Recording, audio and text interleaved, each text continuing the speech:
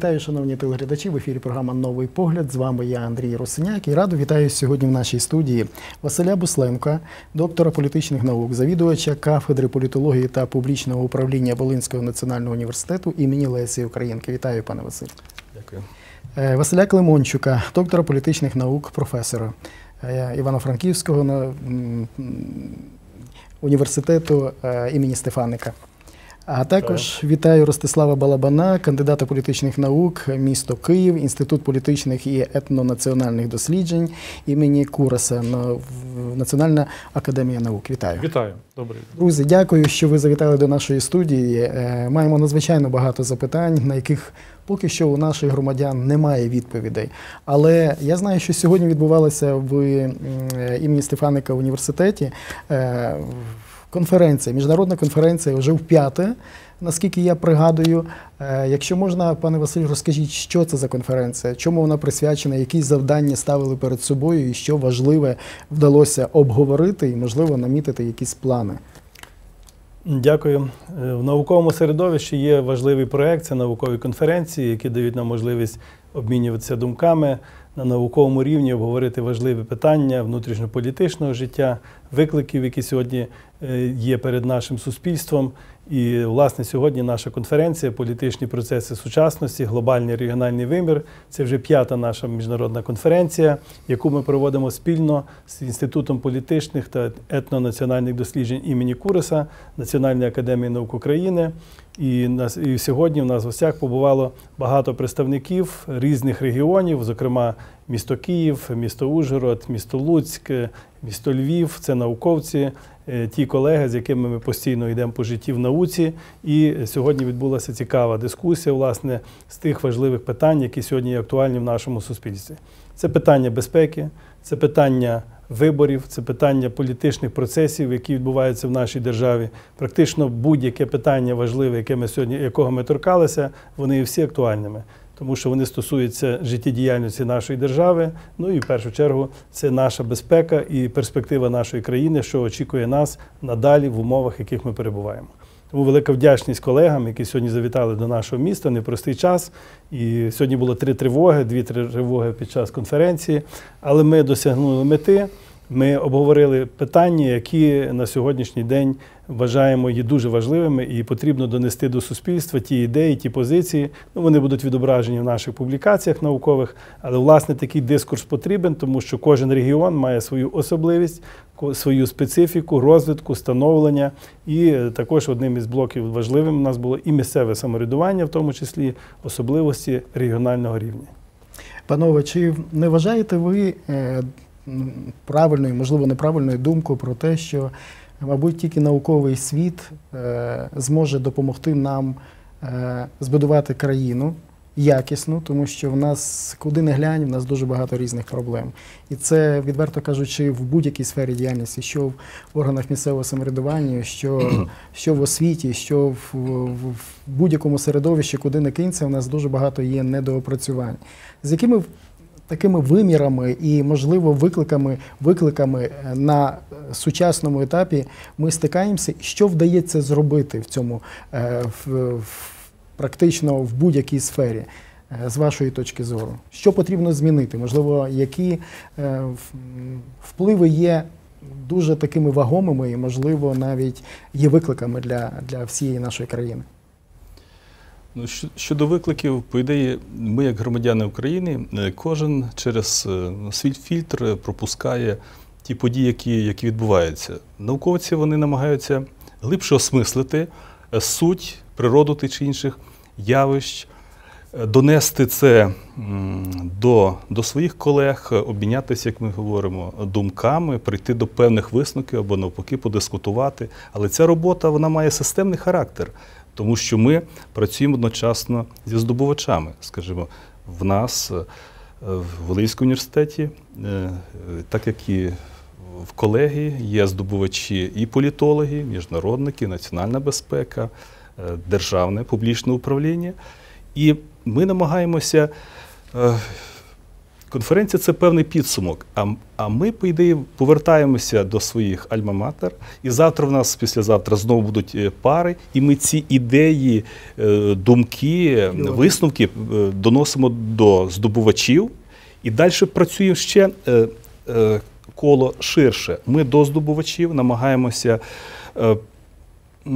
підвести ще думку влади. І ці контакти, які, от скажімо, в нас на Волині є з головами, головою е, обласної державної адміністрації, з, з депутатом Волинської обласної ради, так, ми використовуємо. е, Університет е, і факультет як майданчик теж для обміну думками між владою, науковцями і, і, громадськістю. Але чи сприймає влада ті ваші напрацювання і бажання це донести? Тому що подекуди від, від, відчувається так, що не завжди це сприйняття є адекватним, і подекуди, можливо, навіть час проходить, ми втрачаємо багато часу, а результатів подекуди мало.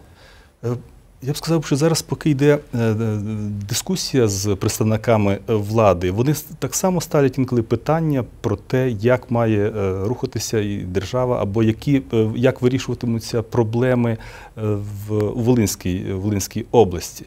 І тут йде мова про е, спеціалістів, про експертів з тих чи інших галузей. І в нас навіть е, нещодавно е, була розмова між викладачами в тому, що ми маємо створити такий майданчик, де б запропонувати владі безпосередньо ту в лапках сферу послуг чи ту експертну оцінку, яку би ми, ми надавали. Це на етапі проєкту, але це результат того першого етапу, е, коли відбувався, е, коли наші студенти ходили в обласну раду, в адміністрацію, в міську раду і так далі. Ці контакти зараз переходять на наступний рівень.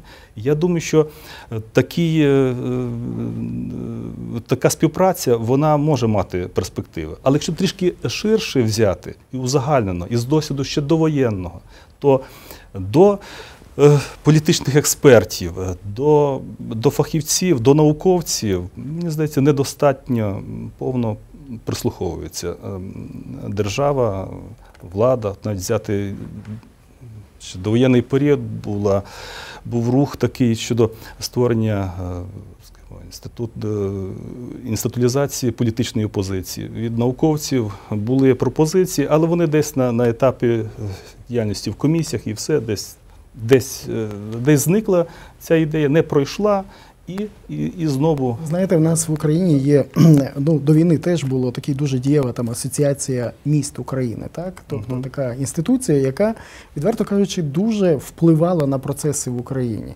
І мені здається, що науковці напевно мають е, піднятися і напевно теж впливати на ці процеси. Бо я розумію, що через абітурієнтів, через студентів це все розтягується в часі, а нам зміни потрібні сьогодні, мабуть, і вже. Але мені би ще хотілося з вами поговорити про те, що ми живемо дуже в складному часі, так, в складному часі війни. Але якийсь такий ем, вогник е, надії все-таки є. е, Допомога. Ну за цей період часу дуже багато відбулося таких е, подій, які для нашої країни є дуже важливими. Ну, зокрема, рішення Палати представників, сенатора, Сенату Сполучених Штатів Америки, президента Байдена про, про допомогу. Як на вашу думку, пане Ростиславе, це може вплинути? І чи зможемо ми ну, змінити хід подій, тому що вже була якась така безнадія, правда? Неправда. Тоді ми Неправда. не надії, от парадокс, безнадії українців не було. А те, що змінили хід історії, то вже змінили. Тобто, вже ну, він вже змінений. Е, е, Ще зовсім недавно е, чітко визначалося, що там друга армія світу це Росія, там ядерна держава, ні бу- ні бійся і так далі. Так зараз чітко визначається найсильніша сухопутна армія це Україна українська. Так от ну і багато таких моментів, тобто змінилися певні моделі.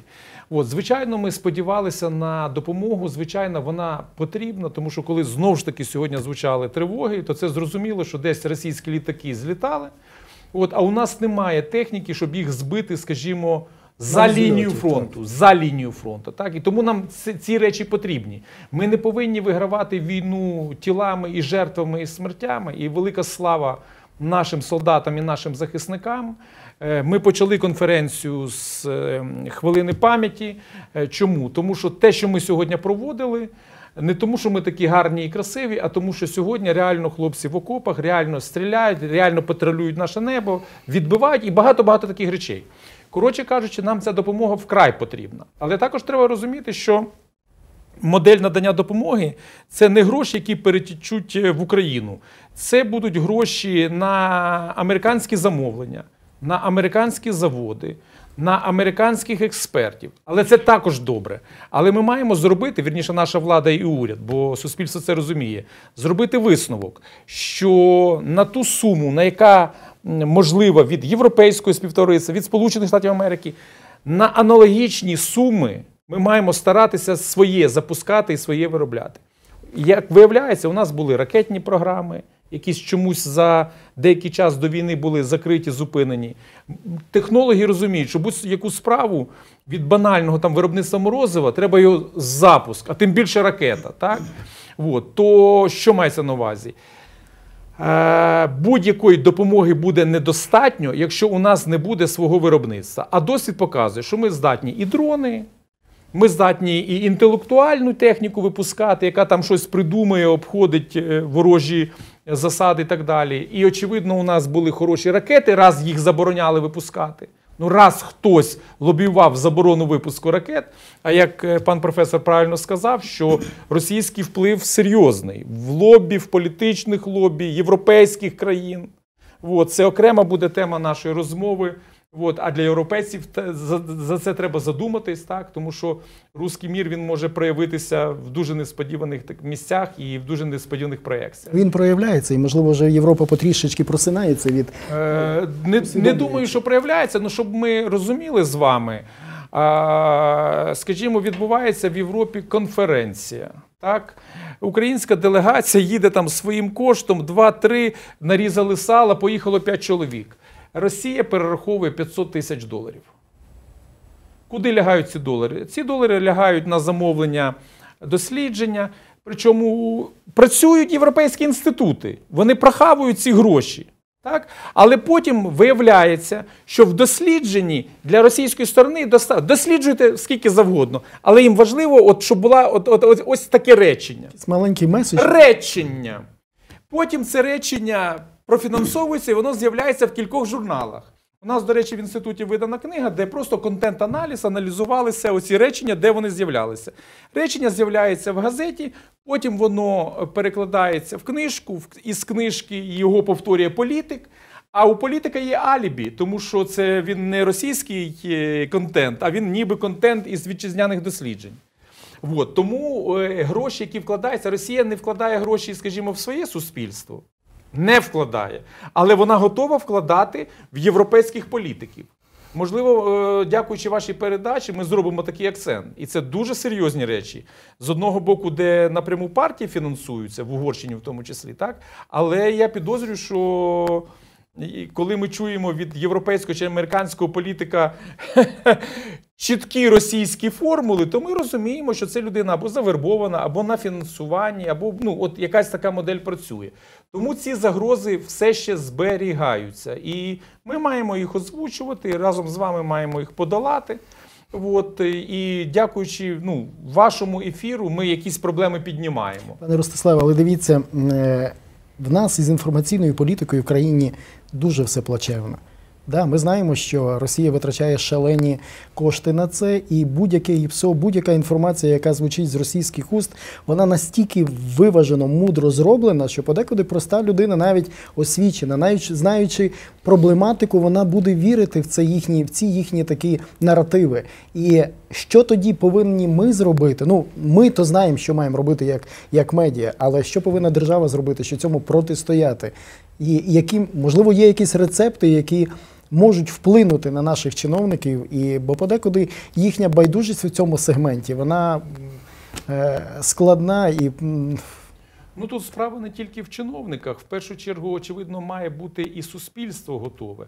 Е, Путін, коли прийшов до влади в перші дні, були створені спеціальні е, центри е, розповсюдження електронним шляхом, електронними засобами, цифровими засобами те, що ви сказали, так, е, меседжів будь-яких. Тобто е, навіть називалися вулиці в, е, Санкт-Петербурзі, де стояв цей інститут, і звідти там е, десятки тисяч ботів писали, пояснювали якісь теорії і так далі. Так далі. От, то ми перше, що маємо зараз сказати, що коли ви читаєте або чуєте інформацію навіть українською мовою, все одно будьте уважні.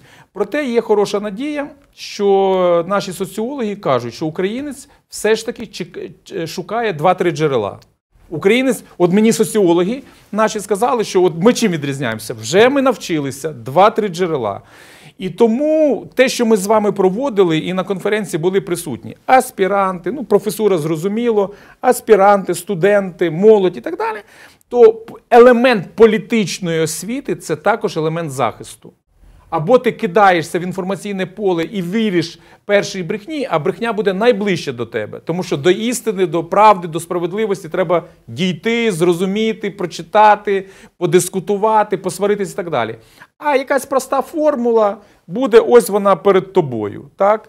От. І тому політична освіта, я думаю, політична грамотність. е, От це, а це суспільство. Це не прийде чиновник до тебе і скаже, що от тобі, от тобі оце правильно, неправильно. Наша політична освіта. І я сподіваюся, що ми рухаємось в правильному напрямку. Пане Василю, ваша думка з цього приводу. Ну, буквально нещодавній приліт у Харкові в телевежу, де практично радіопередавальна система, яка працює на, на, е, на висвітлення, вона була, так би мовити, абсолютно е, знищена. І, і чому вони так роблять? Значить, а чому ми цього не розуміємо? Подекуди. Я підтримую повністю колегу. Надзвичайно важлива інформаційна політика, боротьба з маніпулятивними технологіями. Сьогодні в нас звучало кілька доповідей, власне, які е, мали відношення до маніпуляції свідомістю, як е, реагувати в даних умовах, ну і особливо в умовах військової агресії. Те, що сталося в Харкові, це є підтвердження того. І це не тільки в Харкові. Ми бачили, і по Києву були бажання знищити інформаційний простір і по З перших телевежі днів з війни, перших днів так, війни. так. Руйнувалися центри надання інформації, ну і відповідно впливи. Ну і я вже не хочу повертатися в історію. Пригадаємо 14-15 роки, коли відбулася частина окупації Донецької і Луганської областей. Інформаційний простір там абсолютно був відсутній, і українські канали практично не транслювалося, і діалогу з е, територією практично не було. Ті люди, які залишилися на окупованих територіях, вони були в інформаційному вакуумі, отримували інформацію е, від російських наративів і відповідно формували думку, яка потім дуже легко скерувалася. Вісім років бомбили, е, зробили те, зробили те. І зараз йдуть ті ж самі наративи. Ми сьогодні обговорювали питання, коли е, наш фахівець, е, представник е, Національної гвардії, надавав допомогу в Авдіївці, гуманітарну допомогу надавав, возив людям харчі, вивозив їх з під бомбардування. І він сам шокований від того. Ті люди, які зараз залишилися, вони на російських каналах виступають, що українці приїжджали, викрадали людей на органи і таке інше, і таке інше. Тобто маніпулятивні технології вони продовжуються. Сьогодні ми також торкалися важливого питання політичної освіти, громадянської освіти. Ми навіть е, демонстрували підручник, який написаний спільно авторами е, Волинського університету, нашого університету, Ужгородського університету, представників Києва. Е, Це також які питання важливі, які стосуються громадянської освіти, політичної освіти. Це комплекс, який сьогодні нам дуже потрібен, тому що громадянин сьогодні повинен відчувати ритм політичного впливу, маніпуляції і робота з студентською молоддю, і вже у школі вона надзвичайно важлива. Якщо наводити приклади, Росія що зробила? Переписала історію е, України, історію Росії. Е, Працює величезна група фахівців, ну, Ну, в лап- в лапках фахівців, які продукують е, літературу в лапках наукову літературу, де дискредитують історію України. Вони її повністю маніпулюють. І що зробили росіяни на окупованих територіях? Вони тут же почали працювати в школах. Завезли своїх вчителів, свої навчальні плани, свої підручники, заперечення української історії. На будинках вони малювали різні Абсолютно. е, своїх героїв. Це щодо впливу маніпуляції. Ну а з героїзацією їхніх героїв, коли людина е, кримінальне минуле, вбивство, галтування, вони йдуть до дітей в школу і демонструють позицію великого визволителя. Це також абсурд суспільства. Ну але суспільство сьогодні російське таке є і сприймає. Звичайно, цьому треба протистояти. Протистояти подібними заходами, інформаційним простором, діалог в суспільстві повинен бути. Ну я би ще хотів доповнити влада і політика. Е, У нас сьогодні був присутній голова обласної ради. Він є нашим колегою, він доктор політичних наук. І, власне, він також звертає увагу на радикалізацію політичного простору, який відбувається в Європі, але те, що в наших умовах, коли ми говоримо національні питання, ідентичні, це розглядається як націоналізм, і нам забороняють це робити. І нам дають зауваження, цього не робіть. Ну і багато інших особливостей. А і ще би я хотів доповнити колега е, на рахунок е, співпраці органів державної влади. У нас минулої п'ятниці відбувся дуже цікавий захід. Це була крайня сесія обласної ради, де заслухалися три університети, державні університети, національні роль університетів у суспільно-політичному житті регіону. І дуже чіткі приклади були того, е, що сьогодні університети це є державоутворюючі інститути, крім того, і бюджетоутворюючі, але одночасно і державоутворюючі, тому що навколо університету йде життя, як і людський простір, і економічний простір, і ця динаміка вона не повинна бути втрачена. І важливість і конференції, і наукового середовища це сьогодні формування інституційного простору державного розуміння. Ми повинні продукувати продукцію, і суспільство повинно нас почути, тому що багато є е, моментів політичного характеру, а політика велика, глибока. Ми розуміємо, це надзвичайно багато маніпулятивних є речей великій політиці, і так і на рівні регіональному. Тому, е, щоб якісне суспільство будувати і вистояти в цій війні, е, ми повинні чути один одного. І влада, і суспільство, ну і спільно із засобами масової комунікації ми повинні звертатися до наших громадян. І рівень політичної громадянської культури він надзвичайно є важливий, і ми повинні його всі разом спільно формувати. Пане Василю, а чи не здається вам, що можливо оцю всю науку треба перенести на трішки такий е, нижчий рівень, молодший рівень, тому що по великому рахунку, ви знаєте, мабуть, е, з шкільної парти, а можливо навіть і раніше, е, у нас немає цього механізму. Нас люди не розуміють багато речей політичних, державотворницьких. Будемо говорити, е, хто за що несе відповідальність, яка інституція за що несе відповідальність. Тобто цих знань немає, тому що мені приходиться багато спілкуватися з нашими глядачами, і ми розуміємо, що немає оцих рівневих знань. Е, Яким чином це все можна зробити? І, можливо, такі політичні програми вже пора вернути е, в ефір і дати можливість людям е, чогось навчитися. Тому що, ну, просте банальне питання. Е, Скоро закінчиться термін е, повноважень президента України. Ми не знаємо, що буде далі, на чому ми стоїмо, яка, як країна має далі розвиватися, які правильні постулати використання е, нашої конституції, що там говориться. Хоча ми читаємо її, знаємо її, але попри те, ми багато чого не знаємо. Тут можуть тільки науковці допомогти. Що скажете з цього? Е, Кілька тез е, перед тим хотів би сказати. Коли говорилось про окупацію українських територій, так одна фраза буквально: в першу чергу знищуються книжки. Як знищувалися тисячоліттями, так знищуються с- вони В першу чергу знищуються книжки, українські підручники. Раз. Друге, чому важливо оці всі тези озвучувати, які ми говорили: маніпуляція, е, політична освіта, націоналізм ми обговорювали, радикалізм і так далі. Тому що якщо це ми не озвучуємо, да, ми в такому е, університетському просторі озвучимо. Але якщо ми цього не озвучимо, відбувається лакуна, пустота. А пустота може бути заповнена непотребом. Пропагандою, російським будь-чим, якщо ну, цього не озвуть. Тому це важливо те, що сьогодні відбувалося. Озвучувати. І тепер щодо виборів. Е, нагадаю з історії, що у Другій світовій війні, наприклад, країна, яка не була окупована, Великобританія, так, вони прийняли рішення не проводити ніяких. Вони не були окуповані. Да, вони обстрілювались, да, вони, але вони не були навіть окуповані. От, це нормальне рішення, що коли війна, треба прийняти консенсусне рішення про те, що ми зараз вибори не проводимо. У президента, у влади достатньо легітимності. Єдине, що їм потрібно зробити, озвучити це публічно. Позицію, так. Це треба консенсусно. І більше того, скажімо, спрямувати на парламент завдання, що за рік розробити модель. Суспільство не воліє не жаль- і не прагне так, що от давайте завтра там листівки, вибори. Ні, ні, ні. Проте ми бачимо російські наративи, що ага, там нелегітимний, ага, завтра у вас, значить, і ці меседжі йдуть, що завтра у вас завалиться все, бо у вас не буде вибору. Ні. Треба публічно, консенсусно Тому що країни, які воювали у Другій світовій війні, так, е, вони відклали ідеоло- ідеології, політику. Ми сьогодні це обговорювали, так, і вони постворювали коаліційні уряди.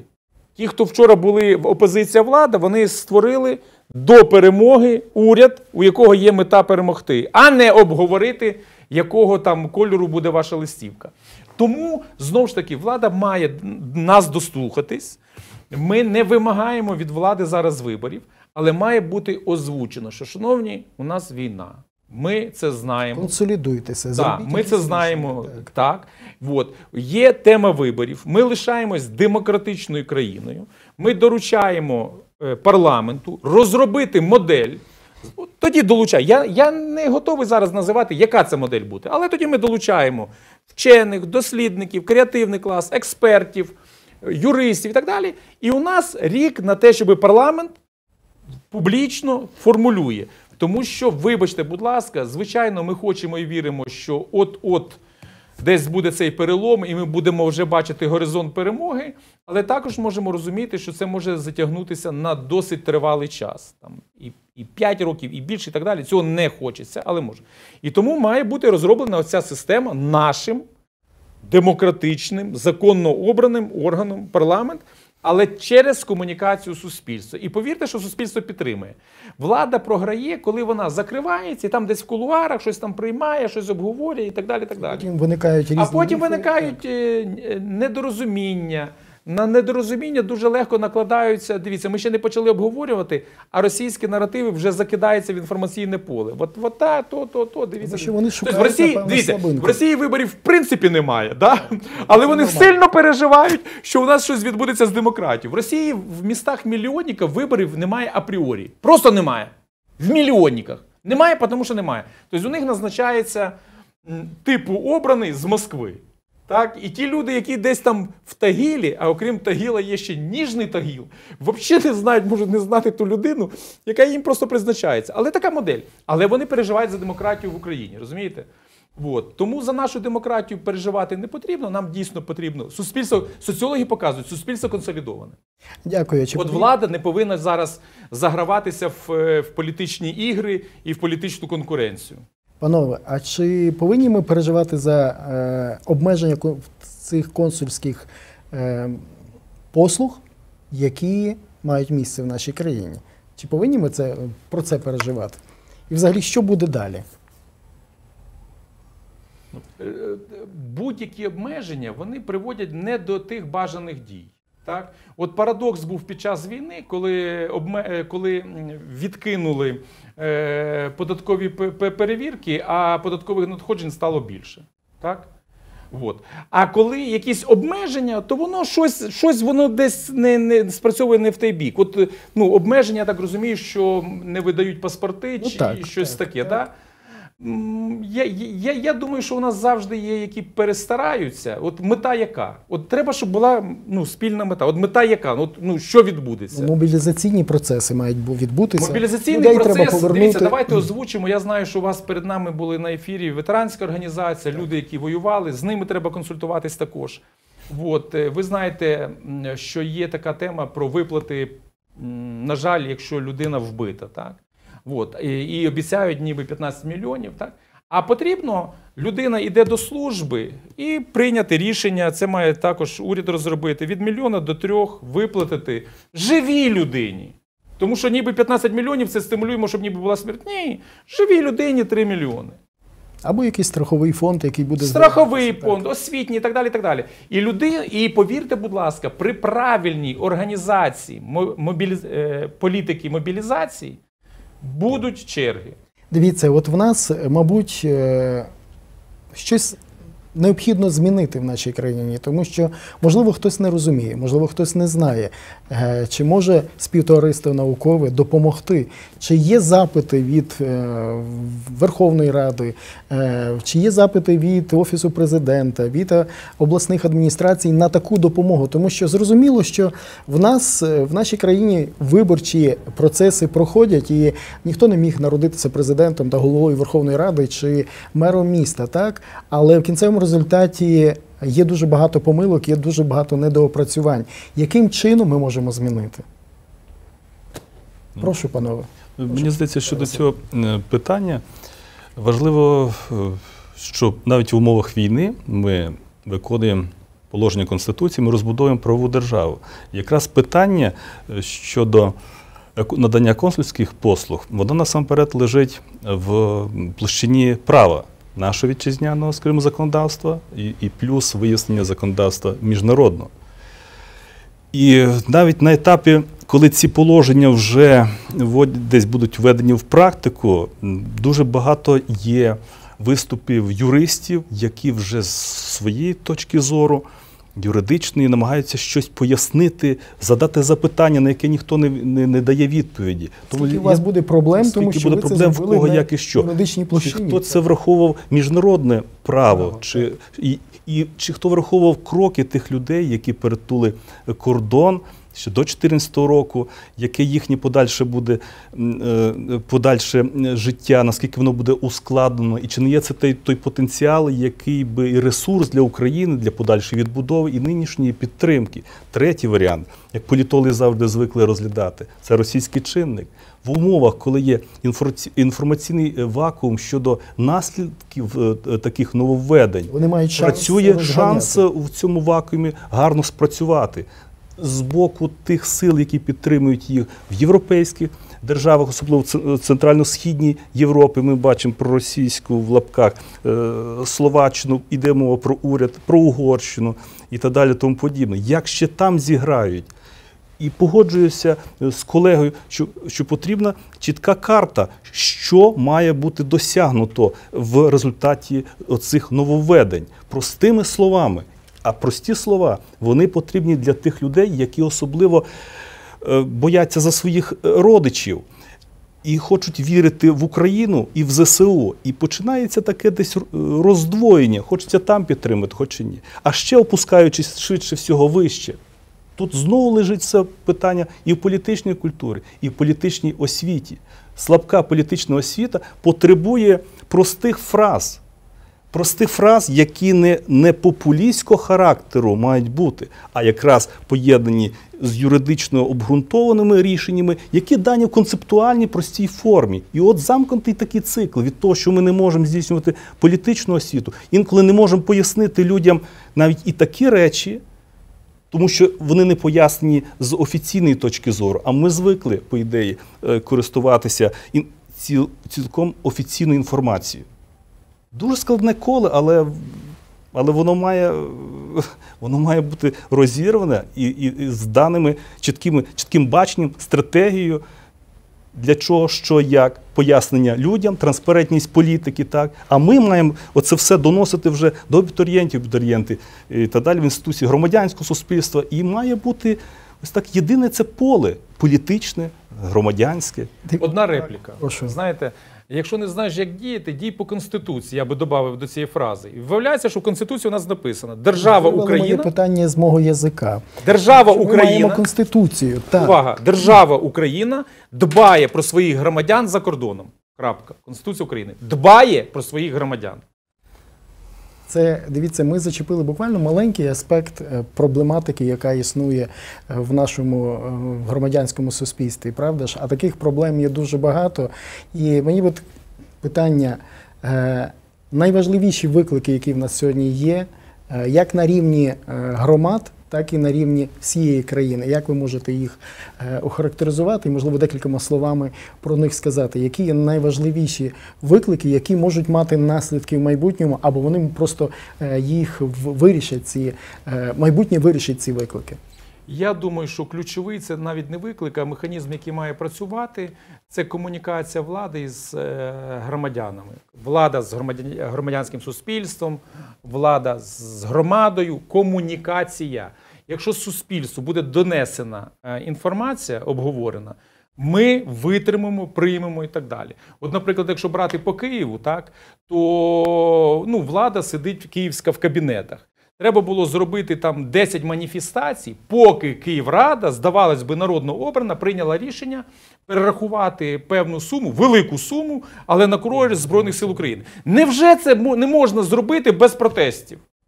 Але, але слава Богу, що таке у нас відбувається. Тобто протести не розганяли, провели 10, і потім Київрада сказала, ми такі приймаємо. Звичайно, вони записали собі це на заслугу, це правильно. Але все ж це в спілкуванні, більше того, цих протестувальників Породило- взяти, породило. взяти в радників, взяти в обговорення, в дорадчих і так далі.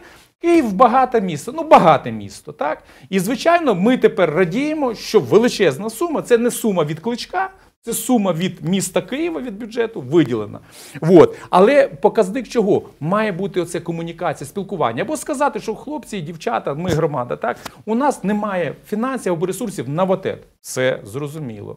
Також ми маємо бачити, що якщо на це немає ресурсів, то не треба класти асфальт е, в кончезаспі. Так розумієте? Ну це я зараз приклад е, безпідставний, але Ну, У нас була 599 е, постанова у 22-му році, а в 23-му її відмінили. Значить, що означає, що держава має багато грошей, можна використовувати. І ще такий важливий момент. Вибачте, будь ласка, що можливо забираю час, так, але відкритість і відвертість це декларація наших політиків. Мені не цікаво ваші гроші, але якщо ви їх скриваєте, це значить, що там щось нечисто. І це викликає це нездорове відношення. Це не впливає на безпеку держави. От декларація депутатів Верховної Ради це не викликає е, проблеми з безпекою держави. Але якщо депутат, отримуючи зарплату і за рік чомусь якось дуже різко щось там відбулось, треба розібратися, звідки ті гроші, чи це з військових закупівель, чи з якихось інших таких специфічних моментів. От якщо там все гладко, все рухаємось далі. Тобто відверте спілкування з громадянами. Ваші слова та й до Бога, але чомусь влада не завжди хоче відверто спілкуватися з громадянами. Прошу, пане Василь. Ну, я би охарактеризував продовження думки. Е, Є таке поняття динаміка політичних процесів. І відбулось так, і вже не в перший раз в нашій державі, що суспільство швидше розвинулося, ніж влада відреагувала. І цей момент є надзвичайно важливий, і щоб ми не втратили таку динаміку. Ну і наступний крок це прогнозування. Поняття політичного прогнозування і аналізу. Ми повинні прогнозувати процеси, це повинні працювати як політики і відповідно науковці, і обов'язково долучати нас, тому що є бачення наукове, а є бачення практичної політики. І ми знаємо, що практична політика іноді не реагує швидко на дані поняття. Ну я, наприклад, мав на увазі перші дні війни, коли воєнкомати були переповнені бажаючими захищати державу, втрачена динаміка, немає пояснення, е, відповідно законодавчої бази, суспільство Не зупинилося, не структуризовані певні поняття, призов, е, відповідно звільнення, умови не чітко не охарактеризовані. Це викликало в суспільстві тут же негатив і навіть якісь певної категорії населення страх. Ну я не хочу казати байдужість, більше напевно страху або е, бажання не діяти, а очікувати. І це дуже складно. І тому е, треба все це поєднати, і буде результат. І я думаю, ми на правильному шляху, тому що ми стукаємо. І даний приклад, і в громадах такий приклад є. Якщо вже торкнутися і бюджету, і формоутворюючи, звичайно, там є проблема, коли відрахування військові на місцевому бюджеті зараз забрані, і територіальні громади ПДФО забрано. та, ПДФО забране. Територіальні громади думають, як сьогодні сконцентрувати увагу, тому що допомагати треба. Кожна громада має своїх представників, які у Збройних силах, і йде величезна допомога, це треба відзначити. Ну, але є і проблеми, де ж брати цей бюджет, як його формувати, зменшення кількості людей, зменшення кількості робочих рук, відтік, е, легальний, нелегальний, демографічна проблема. Тому консолідація відчуття динаміки і єднання, і тоді результат і політичний, і економічний, і перспектива суспільства є. А потенціал, що я важливо хочу сказати, потенціал в нашому суспільстві на сьогоднішній день присутній. Прошу, пане Василь. Дякую. Погоджуюсь з колегами, що це є віхові такі значимі точки, е, стратегічні виклики. Е, І хотів лише е, доповнити, напевно, тим, що необхідна нам десь довіра до державницьких інституцій і постійний, постійна довіра до, до ЗСУ. Тому що воно все зв'язано з от ця інформаційна політика нашого ворога Росії, так, вона спрямована на, на розкачування е, цієї підтримки в будь-якому, будь-якому випадку. А владі необхідно, попри те, що на сьогодні досить слабким є конкурентне політичне поле. Тобто конкуренції великої немає, ніхто не грає майже в вибори, і вибори найближчим часом десь не будуть відбуватися до Верховної Ради, тому що є консолідоване рішення е, депутатської групи фракцій щодо е, інституту президентури. е, Трішки десь пізніше буде, але владі потрібно показувати ось цю свою транспарентність і все-таки думати не так про конкуренцію майбутню, як про довіру, яку вони мають акумулювати нашу. Тобто, це те ж саме, напевно, питання про взаємодоповнювання е, нас, громадян, е, посилення владних, е, влади як, як інституцій, а владі потрібно підживлюватися цією довірою. А йдемо і про консолідацію тоді і суспільства. Це завжди те питання, яке постійно виникало. Задайте 2004, 2006, 2007 рік питання розколу було в, в дискусіях між науковцями. Науковці говорили, ні, ні, такого не, має бути, а воно розкручувалося, розкручувалося і розкручувалося. То на сьогодні ми всі в однакових умовах. Харків, Луганський і так далі, Донецьк, ще, ще в інших питаннях, але ми відчуваємо, що це наша територія, ми відчуваємо свого ближнього.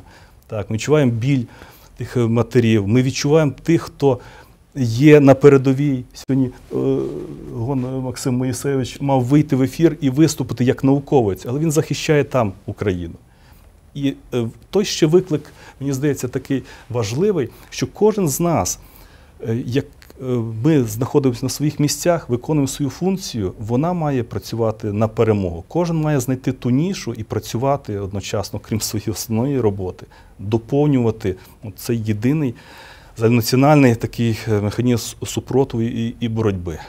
А влада має можливо підказати нам, що нам потрібно, де їй потрібно наші сили. І на завершення буквально декілька фраз, що би ви хотіли в цьому часі, в цьому часі дуже складному, можливо, навіть історично пере такому е, переломному часі, тому що е, підтримка світу є колосальною, вона відбулася. Е, що би ви хотіли побажати всім нам і собі теж? Е, Хотів озвучити ще дуже е, красивий знак, бо я люблю спостерігати за символами. Є, ну, це теж може бути елементом дослідження. Сьогодні на нашій конференції було представництво від Ужгороду до Луганська включно. І для мене це дуже крутий символ і знак. Раніше цього не було. Ні, правда не то, що раніше, не раніше. От сьогодні, в умовах війни, обстрілів і так далі, зібрались десятки університетів з різних точок України, але оцей периметр Ужгород-Луганськ був присутній. Для мене це символ. Це було єдність, тобто не було якісь, якихось таких дріб'язкових. Е, Це, це наукові теми. Це наукові теми, причому цікаві, тому що є, наприклад, взагалі не, підняний пласт, е, е, політична. Е, кримінологія. Політична кримінологія. Взагалі не піднятий пласт. А це весь світ цим займається, а у нас це. А зараз це треба буде А нас досліджувати, вивчати. так чому там в Америці хтось щось про політика дізнався, і він пішов у відставку. Тобто це питання, Інститут мабуть, політичної одне- відповідальності і так далі.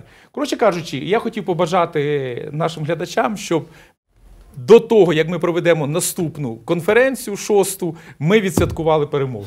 Дякую, прошу, пане Василю. Звичайно, як і всі українці, ми чекаємо миру і перемоги.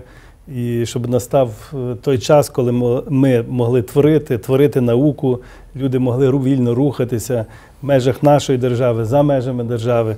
Ми це називаємо академічною мобільністю, щоб вона широко, щоб люди пізнавали світ, ставали добрішими.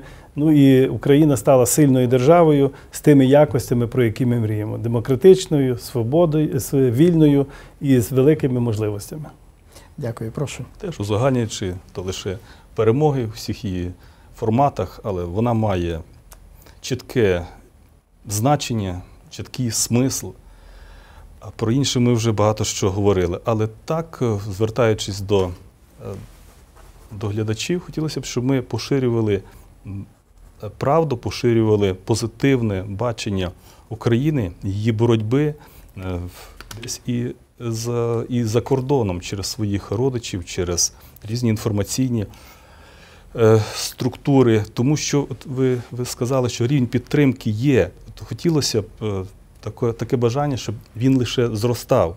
І це те, що е, е, робить нас європейцями. Це те, яке та підтримка, по ідеї, візьміть, вона йде через кордони. Тобто інституційних рамок її немає, Вони стираються. стираються. І це означає, що ми вже в Європі, а Європа вона ж нас підтримує. То це стовідсотково, і це відбувається на постійній основі. Про це потрібно говорити. І ми підтримуємо Європу. Європа підтримує нас.